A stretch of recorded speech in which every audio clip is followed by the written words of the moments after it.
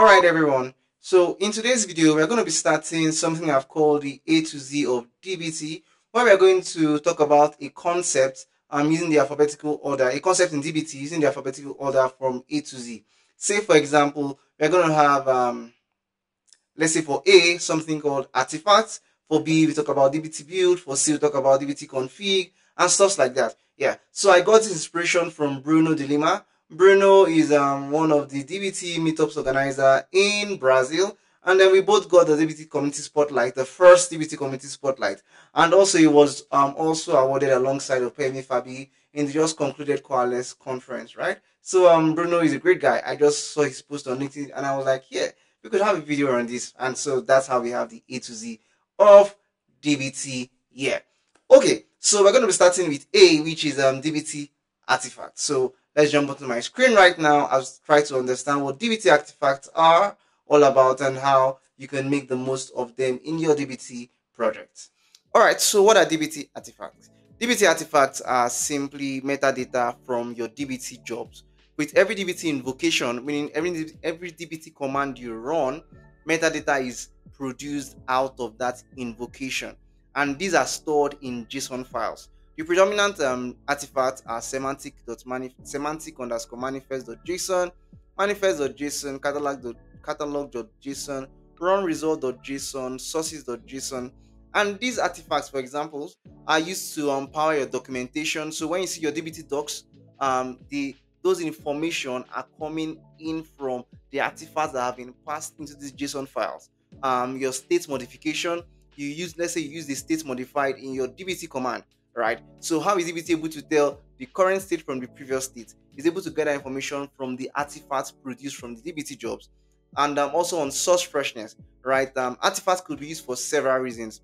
On the docs here, it says, for example, to gain insights into your semantic layer, calculate project level test coverage, and perform analysis on run timing. Say, for example, you want to um, compare every of your model runs, you want to compare the timings, you can actually get those run timings the timings of those runs from your artifacts. And something we used in my former place of work with artifacts was that after our DBT testing, we had to we used artifacts to create a dashboard to power a dashboard that told that, that told us um how our tests were doing, like the number of um tests that were correct and the ones that failed, the ones with error or warnings and stuff like that. All this information we picked it out of our DBT artifacts, right? And these artifacts are manifest, catalog, run results, JSON.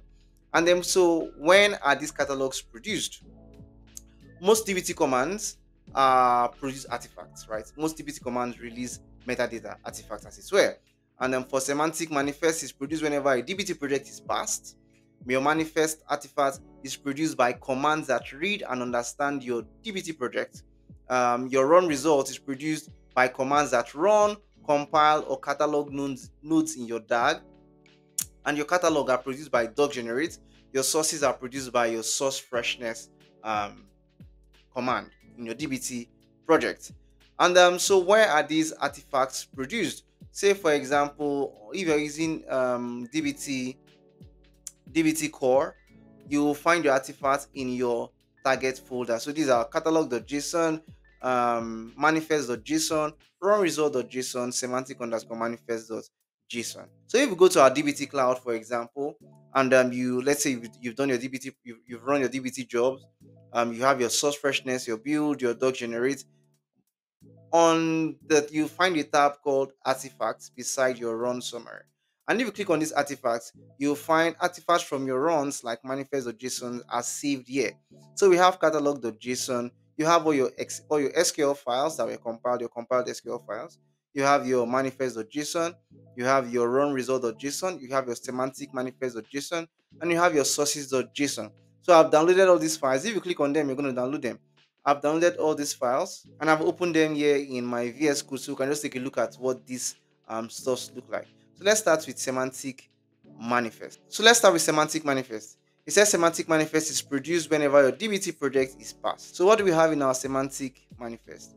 You have your semantic models, empty list, metrics, empty list, project configuration, um, time span, table configuration, empty list, metadata no. It says whenever your model is run, your semantic manifest is created. And then we have manifest produced by commands that read and understand your project, and run results by commands that run and compile or catalog your project. If you check the manifest.json, you would find um, stuffs like um, DBT schema version, the DBT version, when this um, manifest was generated, the invocation ID for this manifest, the environment it was run, the DBT Cloud job ID, the DBT Cloud Run ID. You'll find the project name, the project ID. Um, if you send an anonymous stats, usage stats. Basically, you also find the materializations. If you have tags, you'll find the configuration as well. You'll find your configuration, your materialization, your test as well, incremental strategy, every information really about all your DBT models. You would find them in your manifest.json. This is one one of the models. Stage.js election candidates.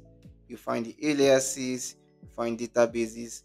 If there's a pre-hook, a post-hook, everything you just try to find everything in this manifest.json.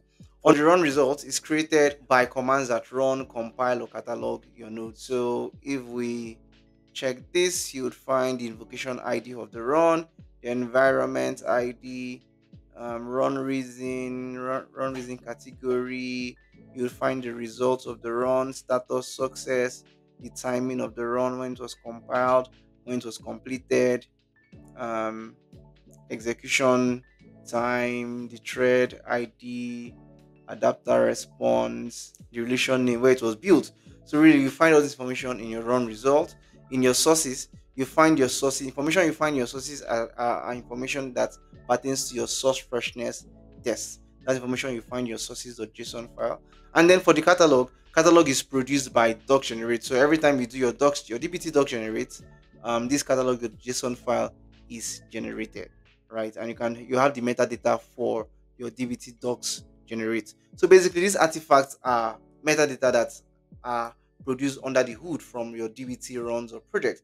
So whatever you're running doing on DBT, you can still get the raw artifacts, the things that are produced on, under the hood for your own further analysis or as whatever the case may be for you. Like I've said, there are several use cases for artifacts. For me, uh, one of our last use cases was to create a custom dashboard. Uh, you also check um, there is this um, package called Elementary on DBT, DBT Elementary package. Not it's, a third party, not owned by DBT. Um, they also use artifacts to create something like a dashboard for your chest for your testing. Um, in terms of data quality and stuff like that. So all those things are powered by your DBT artifacts, right? So yeah, um, have you tried to use artifacts for your own use case? You can explore them and see how you could use artifacts within your DBT project. All right, so thanks so much for watching. I hope you got a thing or two out of this video. Have you been using artifacts? Let us know in the comment section. Happy to hear your thoughts and your questions. See you meet again in the next video. Bye for now.